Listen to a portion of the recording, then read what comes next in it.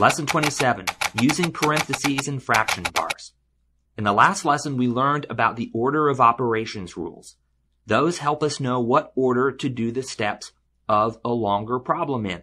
Remember the way the rules work is that if you've got a problem, a little bit longer, it has maybe a multiplication and an addition or a division and a subtraction. The rule is you're supposed to multiply or divide first and then add or subtract second. But here's a good question. What if you have a problem where you actually need to add first and multiply second? That's possible. And actually, a lot of problems like that pop up in the real world. What do you do then? The mathematicians thought about this and they made another rule which says that if you want addition to be shown first, all you have to do is put the addition inside parentheses. Let me show you what it looks like with an example. Say we want to add 7 and 4 first. We want to do the addition first. And then multiply that total by 2 second. We can't write it like this. We can't write it as 7 plus 4 times 2. That won't work because according to the order of operations rules that we learned in the last lesson, we would have to multiply 4 and 2 first and add 7 to that total second. And that's not what we want to do. To show that the 7 and 4 really should be added first here, we have to write it like this. See, we have to put the addition, 7 plus 4, inside parentheses. And actually, it's written a little differently. To save space, we leave out the multiplication sign and put the 2 right up against the parentheses.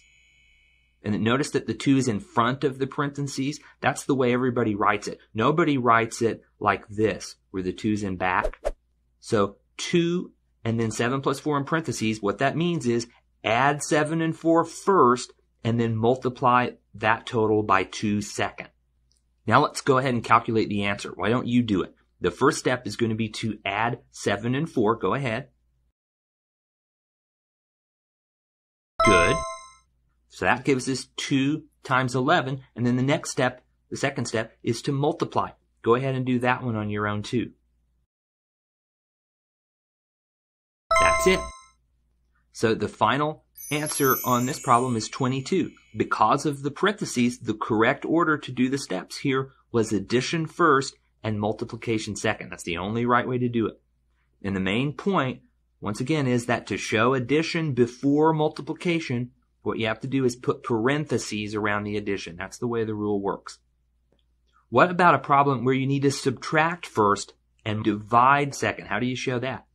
Let's take an example. What if we want to subtract 21 minus 6? We want to do that first, and then we want to divide that total by 3 second.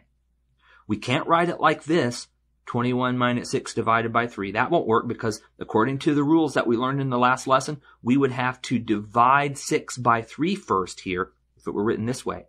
And we don't want to do that. So how are we going to change this? Well, you might think that we should put 21 minus 6 inside parentheses, but actually it's done a little bit differently. What we do, according to the rules, is to show this subtraction should be done first, we put 21 minus 6 in the top of a fraction, like this. And it's not that weird because you know that division is sometimes shown with a fraction bar. You can take 10 divided by 2, and then you can also write that as 10 over 2. Those mean the same thing. Well, that's all we're doing here putting 21 minus 6 in the top of the fraction means 21 minus 6 is subtracted first, and then that total is divided by 3 second. Now let's go ahead and, and actually do the calculation. Why don't you start with the subtraction? That's first because it's in the top of the fraction. That's right, 15. Now we have 15 divided by 3. And then the next step is to do the division. See, the division is second now. Go ahead and do that division. You got it. So the one and only correct answer on this problem is 5.